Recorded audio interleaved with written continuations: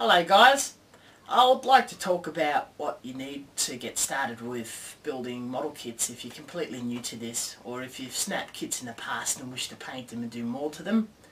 I understand with a lot of people they tell you what tools you need and a very very rough outline what you need to do but I find this isn't good enough. A lot of people still want me to hold their hand, uh, explain every process, watch them do it completely and understand people need more confidence when attempting models. They feel that there's a chance that they'll screw it up and there's no way of going back when they build their model. When they're damaged, it's completely gone or gone for God. Uh, we'll just have a we'll have a little talk about uh, how to get started. First thing, of course, that's really, really important is tools. Uh, if you watch my very first video, you'll see what tools you need, uh, what expense. You will spend roughly the same amount of mo uh, money that you'd spend on the kit for your tools. So you will have to let out that expense. And you need to care for your tools. If your knives are getting blunt you need to replace the knife ends. Don't try to stretch your life out. If your tools are getting damaged you need to replace them. You need to look after your tools.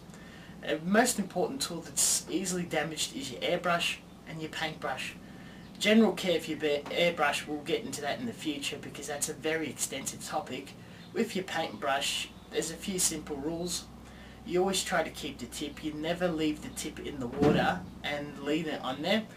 When you're dipping your brush into paint, only half the bristles should be submerged in paint, not the entire bristle. That stiffens the base of the bristles and your brush is going to go to God. Um, if you're going to spend money on your brushes, that's very important.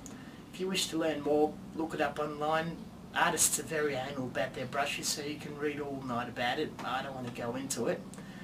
And care of your paint and your stock. With your thinner, replace the lids. Thinner evaporates very easily, contaminates very easily. Same with your cement, same with super glues. With your paint, when you're using it, stir extensively. If you use it straight out of the bottle, you're going to get nasty streaks or gloss streaks. If you shake it, you're going to get little paint in the grooves of your bottle and it's going to be difficult to open or watch my bottle opening tutorial. And of course some people don't wash their brushes properly, they transfer paint from pot to pot, contaminates, mixes the colour, you're not going to have an accurate colour. And of course when mixing paints, use it on a separate palette or use a separate clean container. Very simple. With uh, scale modelling, I know with military modelling, they're very, very serious, very anal about research. When you're building a certain plane or a tank or a figure, you need to research how perfect it is from the actual real time, the colours, whatnot. Very important in Gundam as well, or your mecha modelling. But the beautiful thing is, if you wish to build your own thing or be creative, that's perfectly acceptable. But if you're going in competitions, you will be penalised for this unless you show sufficient research. But if you do want to build a perfect RX-78, the perfect Zaku, the perfect whatever you want, it's very easy to go online, get basic research, pictures, color schemes, because I guarantee you what the instructions state, how the model comes together, and how it looks is most of the time not very accurate to what's in the animation. Now with the animation, it's 2D, various uh, timelines in the anime or when the anime was made it is different quality, different artists, if it's CG, if it's hand painted. You're going to see the same Zaku in 20 different shapes, 20 different colours. Now you could choose whatever timeline you wish to build it, but you need to be strict to it, or you can go on your own route and paint it however you wish. Another thing is time a lot of people want to build something when they're snapping a kit, they can have a kit done in three hours. And then they don't understand why it'll take three weeks, three months to build the model. So when they're building it, most likely they're going to be rushing with their Gundam markers and splashing paint on them, finishing them in the weekend.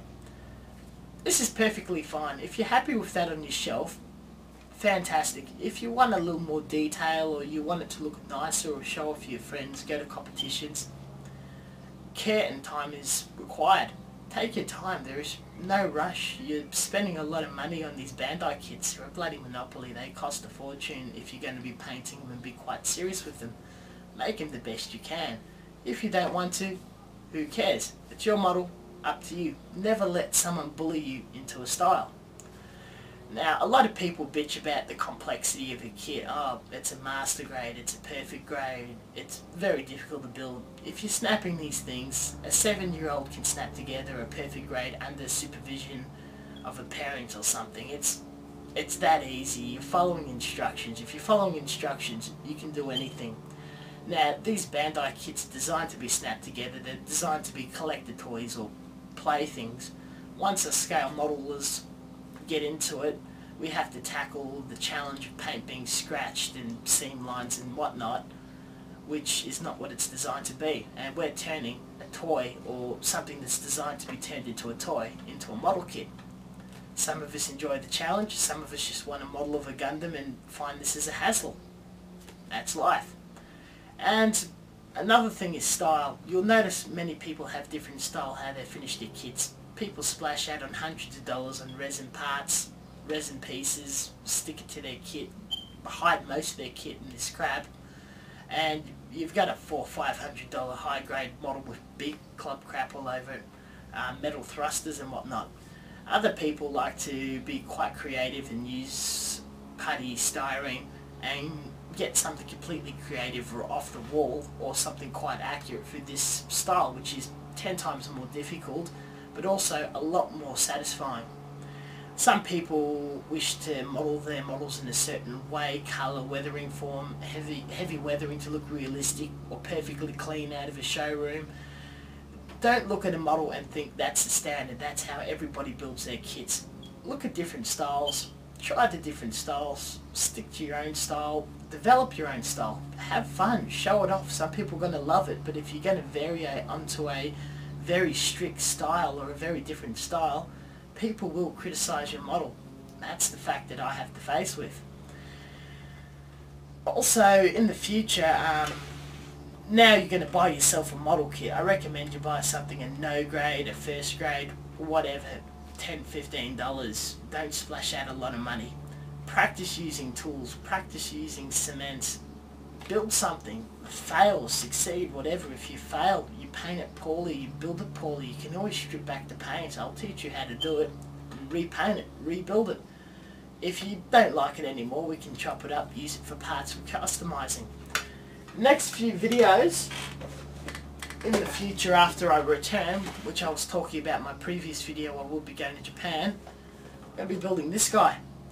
Um, here's a no-grade kit from X Gundam.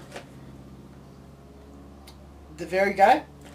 Uh, he's a little complex guy. He's roughly the quality of a high grade or a little higher. He has moving parts. His torso can separate to expose a cannon. His arms extend he's got a lot going on to him, plus a, fairly interesting colour.